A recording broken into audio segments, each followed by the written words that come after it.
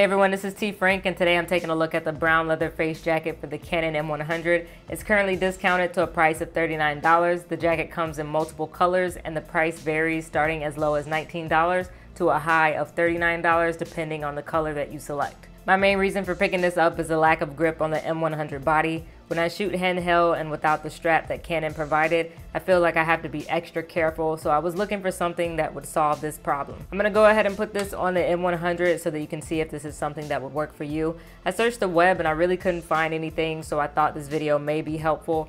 Personally, it's exactly what I was looking for. I love the look and feel to it. However, I will say that initially I ordered the navy blue face jacket and I love the color, but I didn't like the hard plastic texture of the case. So I ended up exchanging it for this one and this one feels so much better. Now that we've talked about the good, there are some limitations with this case. In order to secure the case into the Canon M100, you have to screw it in using the tripod mount, which means you can't use this case with a tripod.